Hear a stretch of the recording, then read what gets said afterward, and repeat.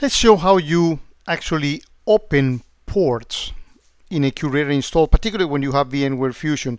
This is the way I did it uh, uh, using my home network. One important consideration, if you open port 443, or any port, but 443 in particular, you the only thing that protects your console from any intruder is your password. So this is something that is fine for you to do on a QRadar CE, uh, but not in a production environment. And forgive me for giving this warning, you probably already know this. And this video was created because when you retrieve, at least currently is the case, when you retrieve uh, logs from Azure's Event Hub, you need to open those three ports, including 443. Okay, so with all that warnings, let's talk first about the router. And I, again, this is how you do it on a, on a setup router. But the idea is you know that you have a public IP that your uh, ISP provide for you. And you can get that by type opening a browser and type what's my IP and you get multitude of services that give you that. So in my case, let's say that it is this one. Actually, I'm going to renew the lease once the video finishes. Uh, and this is the public IP address that I have. Now, you need to do a double trick. Again, your objective in the end is that you will be able for port 443 to do HTTPS and then put 69.120.232.171 and because it has the S will be port 443 and bang you get to log in into the QRadar console. And now you see why this is kind of dangerous, right? Because you don't have any any firewall protecting you from that. So the first part to uh, to achieve this is to do what is called on the home router or any router port forwarding and you're going to be doing a trick. You're going to say well anything that comes from port 443 please forward that to port and I made this up uh, 887 for 5671 do 8111 and for 5672 8112 and I chose those numbers just kind of randomly. Now on the other end you have your Mac OS in my case it's Mac OS uh, in case it might be a Windows what, whatever is. And this machine within the network from from the NAT because the, that's what the, your router is doing you're gonna have so in my case again you use Windows you do it differently but my address in my local area network is actually this one and this changes I have the HCP so it's going to change. You can figure this out by going into your operating system command uh, open a command window and do uh, ipconfig in Windows in Unix in the Mac is ifconfig and that gives you what IP address you have. Now the second trick that you need to do is to go into VMware in Windows Fusion, uh, uh, VMware on the Windows this is a GUI. Under the Mac you need to edit this file and I'll show you where that is called nat.conf and then you're going to do the reverse trick.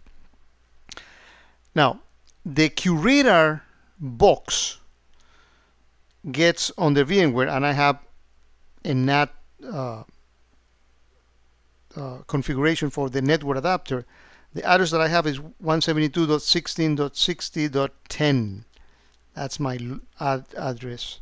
Within this uh, network fusion and this is actually VMnet 8 I'll show you that in a second. But what, i what I need to do is go into the nat.conf and say hey whatever comes on port 887 translate that into the address of my QRadar box and send it on port 443 and that way whenever I go here. Over port port 3 I get thrown into 8887 and then I get thrown back to 443 on the local address of my QRadar box. Same thing for the other two ports.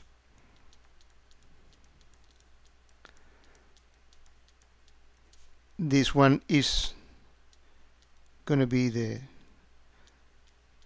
reverse and this one and that does the trick. It's actually harder to do it on under the Mac than it is on the Windows. So let me show you the configuration of uh, my router. And you go under in my case this brand name of this this ISP provider. You go on their port management and here you actually edit and you add you know those rules. And you say again you see it that uh, 5671 goes to port 18111 uh, and this is the address of my Mac OS and in case it would be your Windows the, the one in Windows the one that you get with ipconfig in Mac when I what you get on ifconfig and this changes if you have DHCP and all that right? So that's what you need to do for the first part of the trick for this part the port forwarding now for the second part again on Windows is a GUI interface uh, but on VMware Fusion there's no interface to that. So you need to go into this configuration in uh, VMware Fusion, so this directory rather, go into vmnet8, which is your NAT, and under here there is a nat.conf. And on this file, you need to actually scroll on the button, and these are the entries that I added in my case. As you can see, I'm telling 8111, 5671, the reverse. This one is for 443 and 5672. That's all it takes. Again, I want to emphasize that if you do this, you need to know what you're doing. You do this at your own risk. You are uh, basically opening the door through a port, so all the protection that your firewall give you, you are throwing it away. In commercial routers, there are ways of you to for you to specify uh, and even in, in QRadar you can do the same. You can uh, you can specify at the at the OS level or at the router level. Well, I only going to allow these IP addresses from Microsoft uh, event uh, from Microsoft Azure to be able to be the one who can uh, get to enjoy this port forwarding and nobody else. So in that way, when you put uh, HTTPS and the address of your public IP, bang, you get to the QRadar console. So again, very risky to do this. Make sure you have a very strong password. And this is fine if you are doing on your, again, your QRadar CE, you're testing things out in a, production environment. Uh, that's something that you need to make sure that you talk to your networking guys to, uh, to find ways of mitigating this exposure.